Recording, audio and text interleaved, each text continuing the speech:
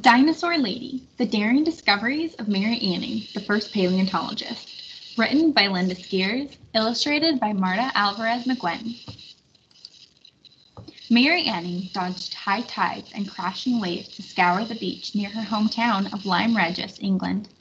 She filled her basket with curiosities to sell to tourists, like seashells and fossils with fanciful local names like snake stones, ammonites, devil toenails, belemnites, and angel wings, Petricola falciformis.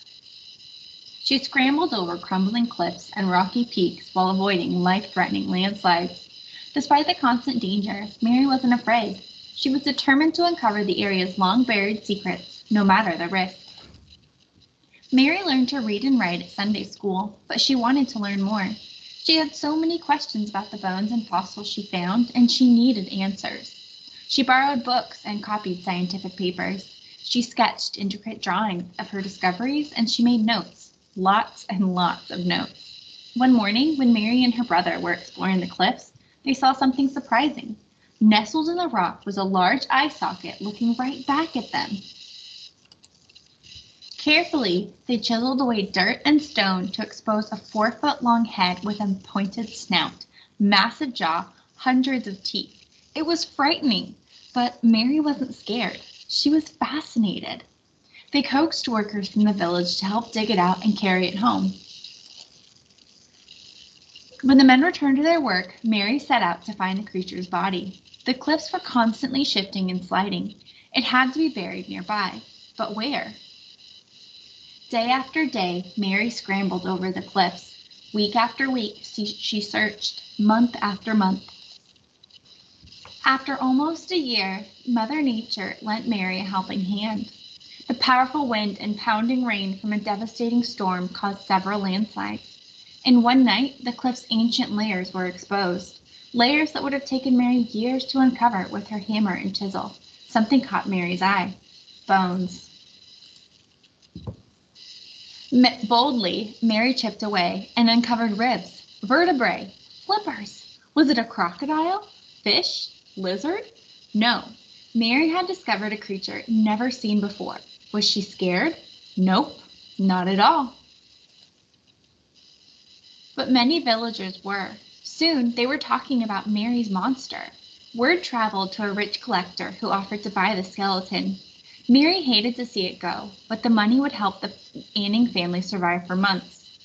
The collector donated it to a London museum, and scientists and geologists flocked to the exhibit.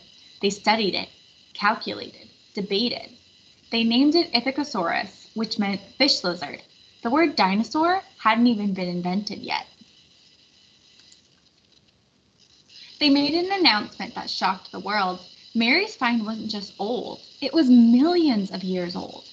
Their declaration shattered the commonly held belief that the Earth was only 6,000 years old. Also, no one had realized that a species could become extinct until they studied the remains of a creature that no longer walked the earth. While others discussed her discovery, Mary kept exploring and learning. Over the years, Mary also found many odd, dark, lumpy pebbles inside skeletons. She examined them, reread her notes, studied her drawings. Mary figured out what they were except it was something a lady shouldn't talk about.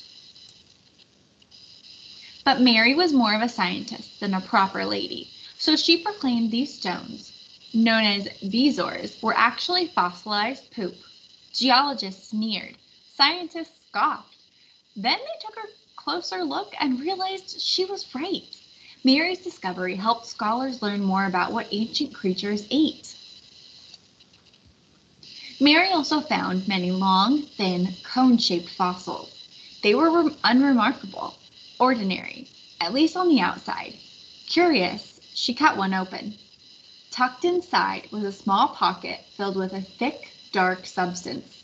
Mary was even more curious now. Adding a few drops of water turned the substance into ink. Mary's discovery proved that ancient aquatic creatures squirted ink to hide themselves from hungry predators. When Mary was 24, she made another amazing discovery. This creature didn't have legs, or flippers. It had wings. Mary had unearthed a prehistoric flying reptile called a pterosaur. Around the world, scientists were talking about Mary's incredible discoveries, but they weren't talking about Mary, not at first. Even though Mary could identify a species from one single bone and rebuild entire skeletons like a jigsaw puzzle, she couldn't join the Geological Society of London. Women were not allowed. She couldn't attend lectures or teach university classes, or even take classes. But Mary knew her discoveries were important and would change the way people viewed the world, viewed the Earth's past. And so did many geologists, scientists, and scholars. Because where did they go when they had questions? Straight to Mary's cottage. Eager to learn more, they followed her over the cliffs, even if it terrified them. And it did. Just like long buried fossils, Mary's achievements have slowly been uncovered and shared with the world. Her daring discoveries helped form paleontology, the branch of geology that uses fossils to study prehistoric life. And she did all that with a homemade hammer, a chisel, and a never ending quest to fearlessly keep exploring and learning.